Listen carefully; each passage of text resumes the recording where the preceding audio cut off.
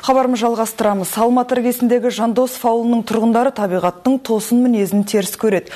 Өйткені жер соқса жарықсыз қаламыз деп халық қамығып отыр.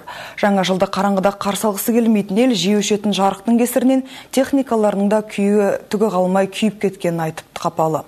Ал ауыл әкімі болса, ауылды келесі жылы ғана толық жарықпен жарылқаймыз деп сендірді. Алматы облысындағы Қарасай ауданына қарасты Жандосов ауылының тұрғындары ағаштың сыбдырынан секем алып, өбеткен желден үркіп отыр. Өйткені қалай жел соғады свет өшеді.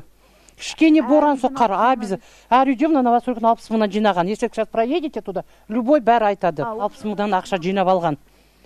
Иә свет үшін жаңа трансформатор қоям деп. Ол жігіт жұмыстан шықты но они связаны. Әсіресе ауылдың жаңа құрылыс аумағы жарыққа жарымай отыр. Көп үйдің электр желісі бір трансформаторға тәуелді болғандықтан артық күшті көтере алмайды дейді. Жарық әлсіз болғандықтан үйлерінде теледидар қоса алмайтын тұрғындар ең болмаса елбасының жаңа жылдық тілегін теледидарларынан естігісі келеді. Трансформатор енді уже баяғыдан қою керек. Білмеймін акимат ештеңке ойлап жүрген жоқ сияқты. Он трансформатор. Ешкім жағдайымызды сұрамайды светін этот самый как его қалай болып жатыр деп. Жолдарыңыз мүлде жоқ. Жол вообще жоқ.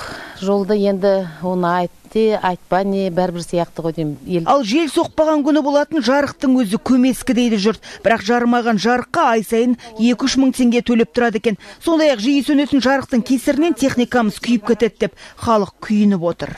Звондаймыз звондаймыз ол келіп жасағанша бір сетке екі сет кетеді. Сол жаңағы айтқандай бәрі күйіп кетеді сол свет жағы қанша затыңыз күйді? Енді телевизорымыз күйіп кетті оны бір телевизорға барып тағы да айта бермейсің ғой барып сол күйіп кетеді.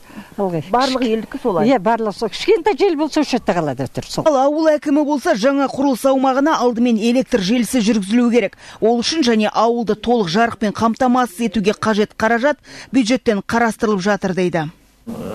Қуаттылық көп, көп, көп қуаттылықты трансформатор ақша қаражат бөлінген. Былтыр биыл екі мың он төртте қойылады. Яғни әкімнің сөзіне сенсек жандосовты жарықпен жарылқайтын жоба мақұлданса келесі жылы ауыл толық жарықпен қамтамасыз етіледі екен. Сондықтан жандосовтар тек 2015 жылы ғана елбасының жаңа жылдық тілегін өз теледидарларынан тыңдайтын болады. Ирина савичанқызы думан сүлейменов информ бюро 31 арна алматы облысынан.